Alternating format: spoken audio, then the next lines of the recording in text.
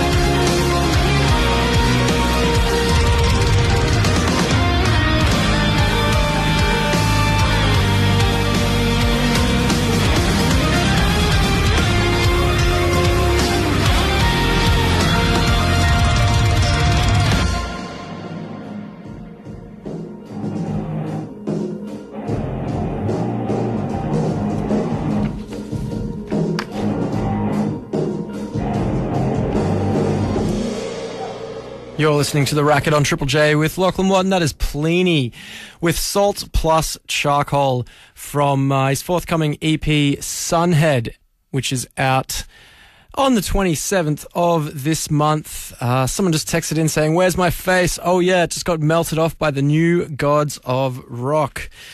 Uh, now, something that I guess I was discussing with Stacey on lunch today when we were talking about this interview coming up tonight and everything was uh, instrumental music and trying to get to the, the core of it and, and finding out what drives musicians, uh, like, you know, emotionally and thematically when there's no lyrics present. And I asked Plini if he gave much thought to what he's actually trying to convey with his instrumental music before he, you know, writes it and puts it out there. And this is what he had to say.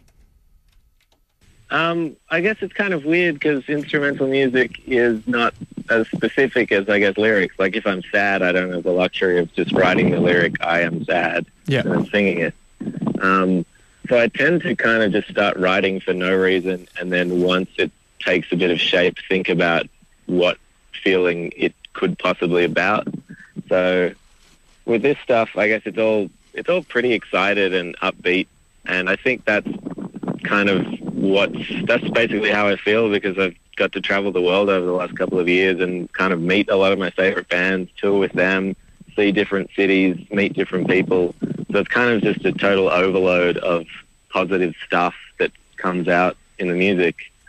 Um, and then so once maybe a song is mostly written with that in mind, I can be like, all right, if I'm trying to explore like the biggest explosion of color possible, I should throw in this other instrument and this other instrument and this sound effect and all that to try and really make it as thick and vivid as possible. Cool. So today we did give a sneaky preview of uh, your new song "Kind" on the lunch show, but yeah.